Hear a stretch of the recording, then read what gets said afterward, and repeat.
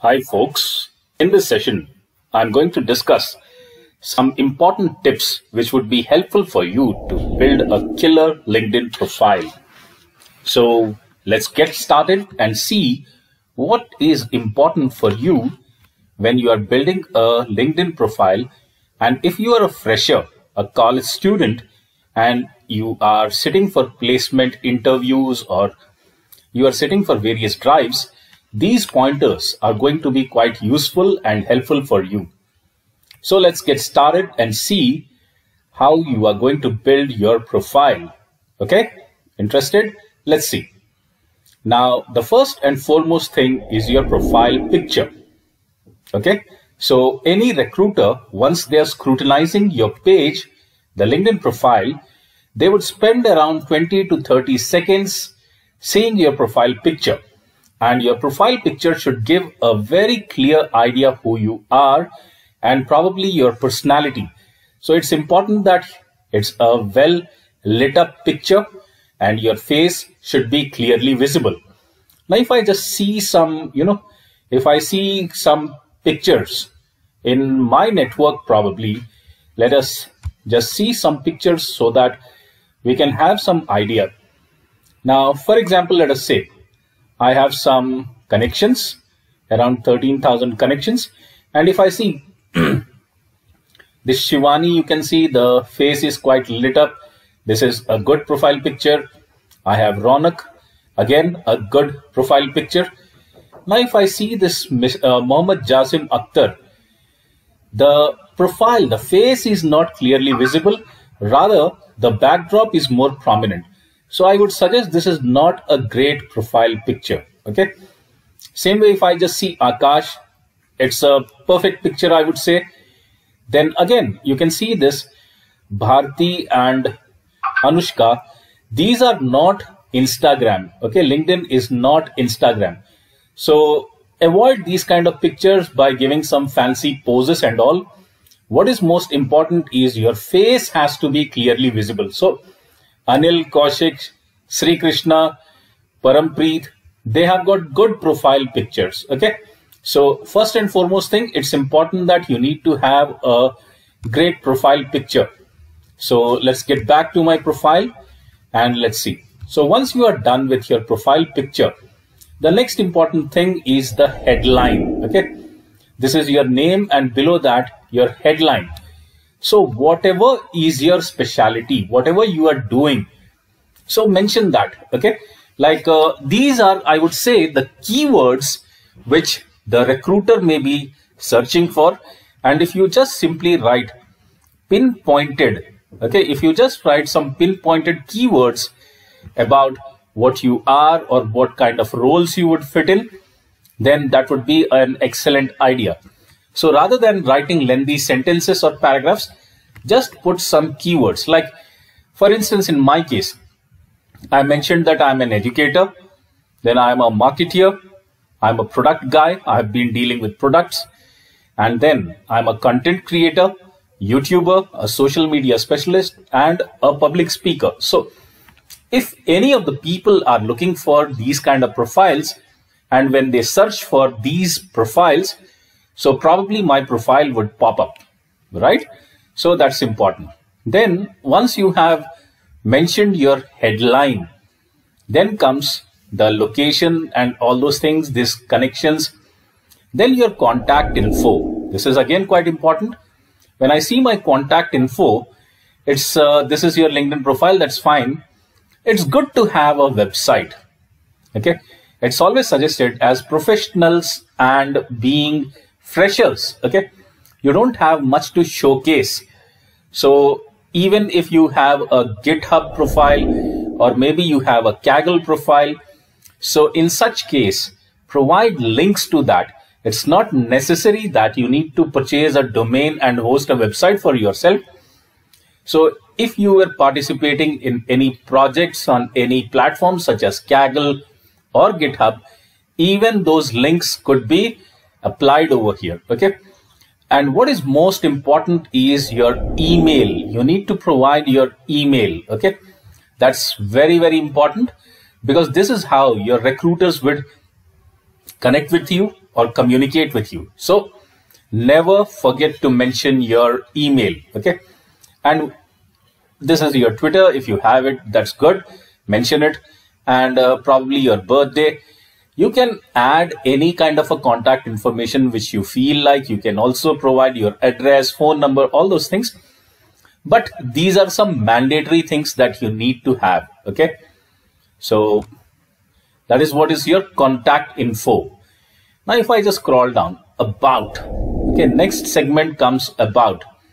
Okay, here rather than writing lengthy paragraphs and you know sentences, it is suggested that mention simple bullet points. Okay, so if you just see, I've just mentioned a few bullet points because any you know any recruiter they do not have the whole day to you know scan through your profile they will be spending hardly one to two minutes on your entire profile. So don't bog them down with lengthy paragraphs and motivational quotes and all.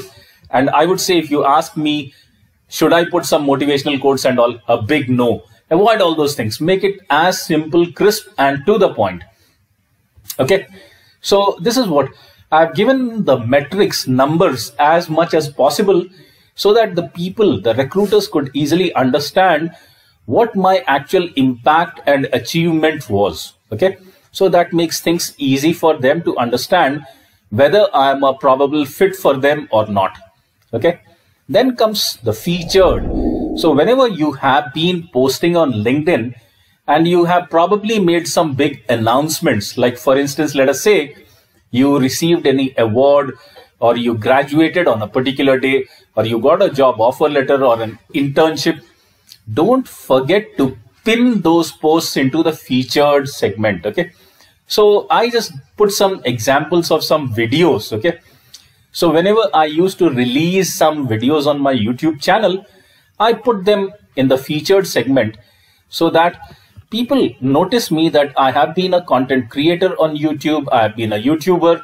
So this featured segment can be used very effectively to make some big announcements okay because anything important that you simply post on linkedin they get lost in the deluge of content that you have been posting. So what is the good idea is simply pin those posts into the featured segment. So that makes things very easily visible to the tentative recruiters. Okay? So you can do that. And uh, this is your dashboard. So this is only visible to me, but not for others. So I just scroll it down and this shows your activities, whatever activities you have been performing. Okay. And this is the experience. So whatever you have been doing, try to show the impact that you have created. That's very important. Okay. So if I've been working over here uh, as an assistant professor in marketing and all, it's almost five years, nine months now. Now, what I have done, I have been teaching MBA students and whatever the courses I've taught, okay, and how I was involved in placements and all those things. Then now I'm a YouTuber also, okay, and I've been uh, working or I've been creating content on YouTube since May 2016 till now. Give the proof, okay, so I've given my link, the YouTube link. So any probable recruiter can easily click on this and go to there okay and this is the company where i worked earlier okay so i mentioned that as well so this is a startup which i had created for myself. So i was the owner of it so i mentioned it over here. I worked with this bank okay? So whatever experiences you have you add it. But when it comes to a fresher okay you must have done various things various projects. You must have done a short term projects with various companies. Mention it over here okay?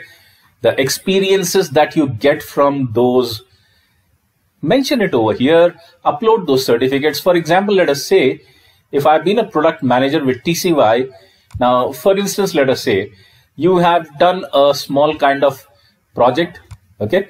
Let us say this was a full time so i'm editing it right in front of you. So you put the title what was the employment type? So in your case probably it was an internship so you could mention it as your internship okay what was the company name location what was the start date what was the end date? Give some description and over here upload the certificates or letter of recommendation whatever you got from there. Okay so any kind of uh, photos that you have as a proof any remarkable achievement that you had upload it. Okay so that will be very easy useful and effective when any prospective employer sees your profile okay? So do that. And then of course this education. All of us have similar kind of things over here. What you did okay? What kind of qualifications? So nothing important. Now this is a bit debatable okay? Now should you put your certifications and all? If you ask me okay? If you ask me just mention or uh, present some certifications which were not more than three years old. Okay. So if you see this 2017 and all, I think I should remove them. Okay. But since I'm not looking for a job, it's not a big deal. But in your cases, you should keep the latest ones. Okay. You should keep the latest certifications that you have so as to, you know, keep yourself updated. And uh, you are also projecting that you are a learner, open to learning and you are upgrading yourself quite frequently right? So mention that. Any experience any other experience that you have like a volunteer okay do it mention it. Then this is one of the most important ones skills and endorsements okay? So whatever skills you have you think okay?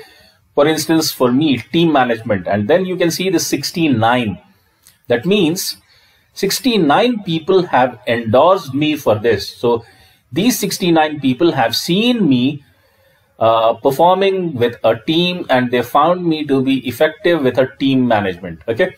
So these are good numbers. These are good metrics which project that you have this kind of a skill. Okay. Like 69 people endorsed me for team management. 49 people have endorsed me for business development. 44 people for market research and so on. I could have more skills Okay, you can see these are all skills which I have and there are people who have endorsed me for all these skills. Okay, so I would suggest, you know, I would suggest that you should be approaching people like for instance if you are freshers you should be approaching people someone who are superior to you or maybe more experienced than you or senior to you maybe your professors okay? Because they have seen you working on various projects and assignments. So you can request them to endorse certain skills that you have you know mentioned in your profile linkedin profile. Great. So another important thing when you have these skills and endorsements okay? Linkedin also offers you various skill quiz okay? And those skill quiz are a stamp of endorsement from the LinkedIn side that you are proficient in a particular skill. For instance, let us say just for your demonstration purpose, you could see that I have, you know, I have a LinkedIn skill badge for R programming. Okay, they said I have two. Okay, what is this two? So these two people, okay, Dr. Ankur Sori and Mohit Sharma. Okay, they have seen this. Okay, good. Okay, so this is what helps you build these kind of you know it makes you more prominent and your profile becomes more attractive for any tentative recruiter okay? So you can see these are various skills i have so add all the skills and those skills should be verified okay?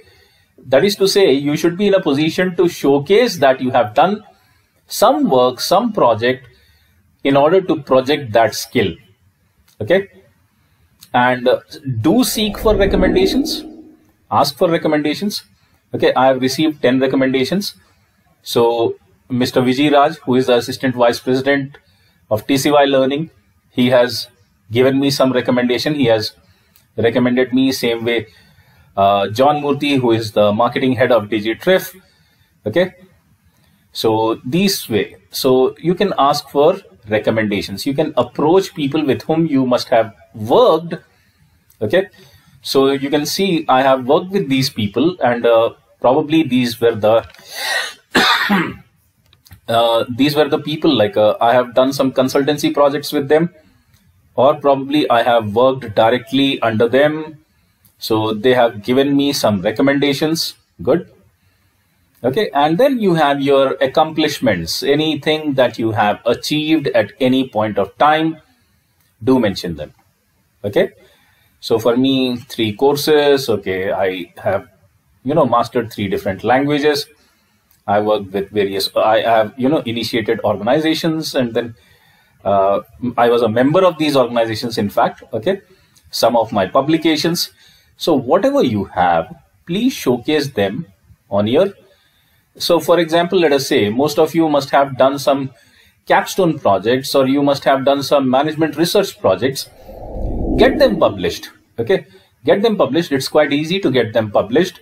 So you can get them published by paying a nominal fee. And once you get them published, you can write them in your publications also and that's going to add a lot of value to your entire LinkedIn profile. Okay, so I believe you must have got some value from this entire uh, tutorial and uh, probably you will be working on your entire uh, LinkedIn profile and make your LinkedIn profile more attractive and appealing for possible recruiters. Do like, share and subscribe. Spread the good word Bye bye. Have a nice day.